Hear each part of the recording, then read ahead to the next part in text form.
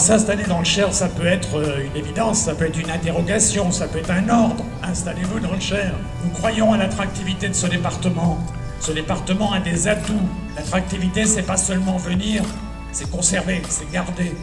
Nous avons des richesses, il faut que nous travaillions tous ensemble. Il faut chasser en meute et que tous ensemble nous poussions ce beau département du Cher. C'est pour ça qu'on est là ce soir. Nous avons la chance d'être dans une ville, dans un département qui, au-delà du patrimoine, possède des atouts naturels remarquables. Le concept de ville à taille humaine prend aujourd'hui tout son sens et avec lui un nouveau concept à forger pour le territoire départemental. Il y a 40 ans, quand j'ai découvert Bourges, je suis tombé complètement amoureux de cette ville. En fait, d'ailleurs. Mais bon, j'y suis resté et j'y ai, fait, euh, ai fait ma vie, comme dit tout à l'heure Monsieur le Président, euh, ma vie professionnelle.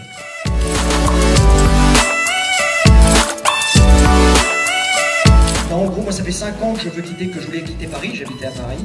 Et comme beaucoup, euh, j'ai saturé, j'ai trois enfants et la ville est, devenue hors d'échelle pour eux, hors normes et pas adaptée. J'ai moi-même grandi à la campagne et donc à, 40 ans, j'ai voulu retrouver les modèles que j'avais connus petits. Et puis ici, moi qui suis passionné par l'histoire, c'est un lieu hautement important euh, parce qu'il est très central. Évidemment, Bourges, c'est vraiment un nodal.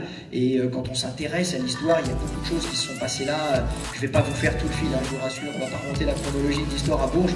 Euh, mais ici, on est vraiment un verrou. On est un verrou de population. Les plus puissantes tribus gauloises, elles habitaient dans le coin. Ici, on était chez les Bituriges, qui veut littéralement dire en celte les rois du monde. C'est pas un hasard s'ils étaient là.